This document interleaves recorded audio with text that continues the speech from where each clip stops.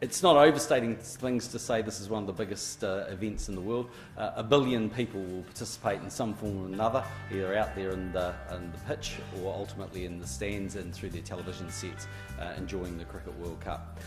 You know, the really interesting thing about events like this is that everyone thinks they're about what happens, and actually, they're kind of really about what you feel. Um, and what I want this one to do is to make everyone feel special about being a New Zealander and feel really proud about being part of this Christchurch event and kind of warm to the whole idea of the Cricket World Cup being here.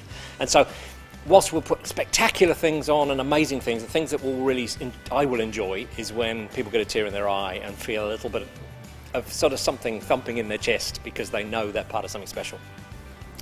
The opening event in Christchurch for Cricket World Cup is going to be a unique, once in a generation opportunity for Christchurch people to come together to showcase um, their hospitality to both the rest of New Zealand and the, and the whole world who will be watching. Yeah, for the Black Caps, it's going to be an exciting event. Obviously, a standalone opening ceremony, um, some 36 hours prior to our, our opening game um, of what's going to be a, a brilliant World Cup to be able to be a part of.